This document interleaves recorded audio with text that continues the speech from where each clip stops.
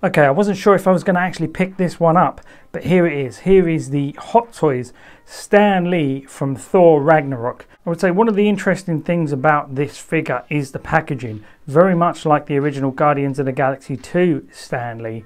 as you can see, the box is pretty big for a standard 1-6 scale figure. Now I picked this up from a guy on Facebook called Daniel Ward who gave me a really good deal on this. A big shout out to him. Otherwise, I probably wouldn't have got this guy if it wasn't for the price that I got him for. But um, yeah, I'm very happy with how much it cost me because it was a it was practically a steal. But here he is, Stan Lee from Thor Ragnarok. Really looking forward to this one. Let's get into the unboxing. It's really big for a normal standard 1-6 scale figure. And that's because they've done something similar that they did with the uh, Guardians of the Galaxy Stan Lee figure, which is they've given it a blister pack and then the packaging is separate from the figure itself. It's really cool and quite funky looking, but the truth is it's not very practical. Okay, let's get unboxing this. I've already taken tape off the top because I'm doing this one-handed. We can take that out and inside, that's what it looks like. There's a bit of cardboard in here. Get this off. Come on, you get out of here. Gone. And then this is the figure inside. Let's slide it off. Voila.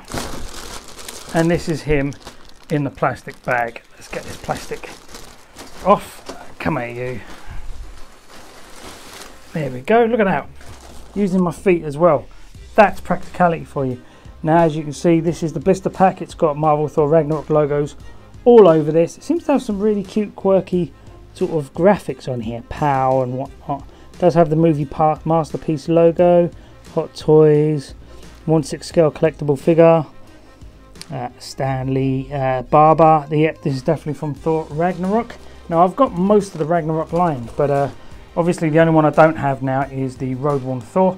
It was too similar to Age of Ultron Thor and Dark World Thor. I didn't think I really needed to get it. I mean, most people didn't. That's why they didn't make too many of them. And now everybody's kicking themselves because they all want that figure. So if you are thinking about picking up a figure, do so because later on you could be kicking yourself when it's like three, four times the price on eBay. But yeah, this is the blister pack. Now this is the box that um, he's supposed to go in, which is really fascinating because why would you ever store him in this box? I never understand that because you've got the blister pack here, you've got the shipper here. I would, I, I would never store him in this box. It, it looks interesting, but I wouldn't do it. Now I will pull it all out and show you in a minute. But yeah, this is him. That is the figure. Now it's obviously been out of the packaging before and now it's being put back in. So there's a few bits of plastic missing off the figure itself. Probably on the hands and feet. But that doesn't bother me. That's not a big deal. It's got that little ponytail, massive ponytail there. And he's got loads of hands and bits of bobs behind him. Okay, so what I'm going to do is I'm going to pop open this blister pack, get the whole figure out and we'll have a look at him on the shelf. Okay, and here he is out of the clamshell packaging. You can see that's the box there. This is the figure. And just down below here are all the accessories. Uh, I couldn't fit them into the shot if I'm honest without getting a good sort of like good zoom in on him. So you'll see them all in a minute anyway. Anyway, let's quickly have a look at the box. I know you're interested in that because it's got that really nice sort of quirky Thor Ragnarok design to it. It's got a spot full Stan Lee. It's got the barber. It's got a picture of his like cutting tool there, sort of like electric buzz stuff. It's very I, I don't want to say it's I don't know 80s I don't know 80s doll inspired almost. I feel a little bit like I'm getting a bit of Barbie vibes from all of this bit here. Not massively but a little bit. Obviously it's a Hot Toys exclusive. You've got POW! Entertainment Stan Lee POW! Entertainment there. The sort of this sort of text here is very reminiscent of sort of like print you would have got in the 80s Thor Ragnarok logo. Then on the side again the same logo MMS lots of paint splatter and stuff. In fact, it, it's slowly, you know, creeping into the 90s with all these sort of quirky pink paint splatters all the way around here. And on the back, you've got all the people who are guilty of making this thing. And then on the side, you've got Stan Lee Barber MMS 570. Not much up the top other than the logo. And just some more of the background print spread across the bottom. And that's it for the uh, box. Okay, let's have a look at the figure himself. And this is definitely a different head sculpt from the Guardians of the Galaxy head sculpt. It's very nice looking. He's got more of a smirk. He's not like on a full grin. This is just the small piece attached to his arm there. but then you get this very large, big bit. I remember in the movie he was like, oh, please don't cut my hair, please. And this thing's spinning like mad and it looks absolutely terrifying. You have no idea how it managed to cut his hair without taking his head off, but it was quite a funny scene anyway. And uh, yeah, I'm a big fan of the movie. I think it's hilarious, and it's actually one of my favourites in the MCU. But yeah, you can see there's got some like nice metallic paintwork in there. Really does look pretty garish and quite frightening. These bits can spin around, and these can spin. And then if we take a look, we can actually see it comes with a load of hands, and I'm really excited about some of these hands because, woo, some of them are very fun. The devil horn hands. Fuck yeah, look at those. Ugh, metal. You know, proper showing them off. He's even got the ring on there, the detail. You know what? I think one of these hands is going to find its way onto the Mandalorian when he's sitting there on his chair with a beer in his hand and he's got mm, throwing up the horns because he's listening to like Disturbed or Metallica or something. you know, very very cool. But yeah, it's very nicely sculpted. You can see all the veins in the back of the hand. The uh, fingernails leave a little bit to be desired. There's not a lot of detail in them. But uh, yeah, I really like the way they've painted the rings on the hand. Look at that nice shiny chrome. It really does look like metal. They've done a great job with that.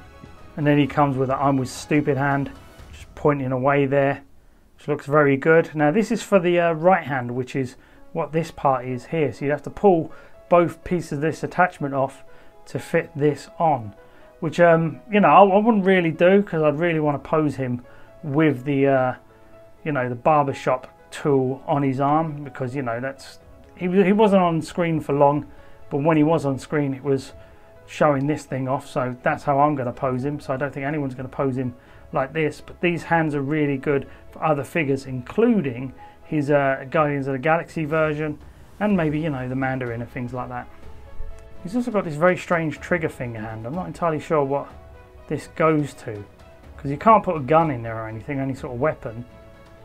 Um, yeah, I don't know what he'd do with that. Sure, it's to hold something, but I don't know what because he doesn't have anything to hold. Maybe ah, maybe the hair. That's it.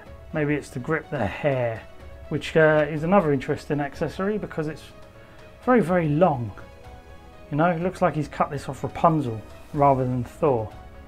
But uh, I guess it's there for you if you want to pose him, you know, waving this around or something like he's teasing somebody. But yeah, very interesting. I'm not going to pose him with it, but that'll probably stay in the accessories box. And he comes with these really cool glasses here. Again, that's how I'm going to pose him with these on. They're very nice, very stylish. You can see the lenses are very clear. You can see the hands through the lens and you can see the detail on the front. Yeah I like those. This is going to be fun. He also comes with some extra wrist pegs but you don't really care about that. Okay and here he is with the uh, barber attachment fully extended out. That looks really cool. It's a very quirky sort of like off the wall figure. And I don't blame people if they don't want to pick this one up. It's definitely a surplus to requirement character from the movie. I mean they could have given us Valkyrie, you know, off the top of my hat, or you know, the Grandmaster. Those two would have been good, but obviously this one was going to make money because a it's a Toy Fair exclusive, and they probably still already got the license for Stan Lee.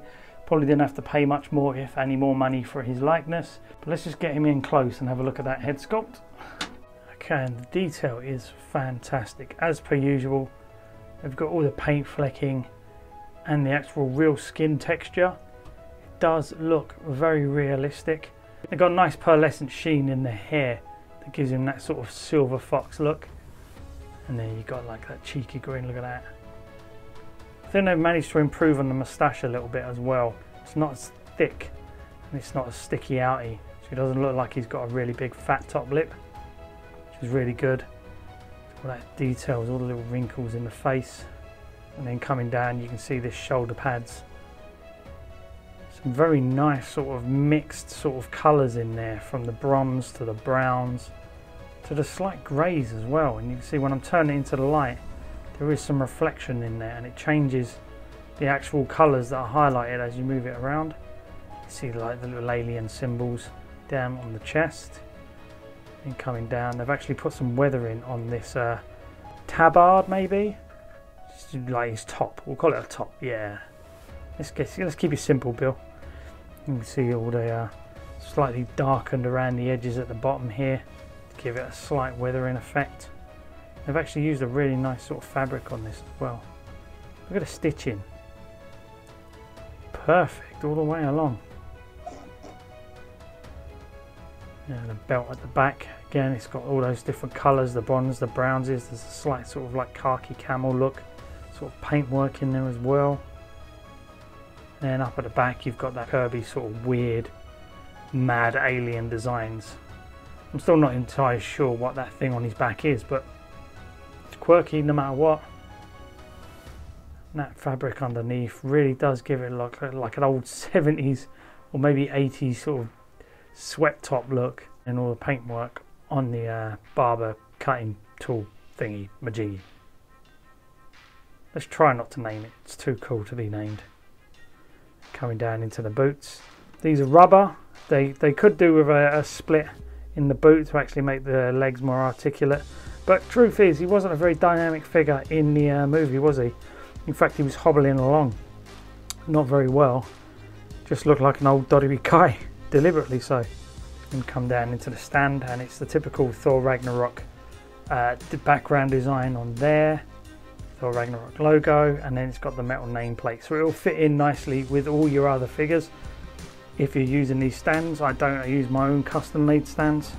Now where he's going to go is around here, he's going to go up with my Thor Ragnarok line. There's Gladiator Hulk, Loki, Thor, and Hela and then he's just going to go in the background there annoying them. But yeah, like I said, the only one missing is Road Worn Thor, but I don't know if I'll ever pick that one up. It's too expensive for what it is, if I'm honest. The price to want ratio just isn't there for me, if I'm honest. But yeah, he's really going to work in my Ragnarok collection. Now, Hot Toys, if we could get uh, a Valkyrie and a Grandmaster, I will be more than happy.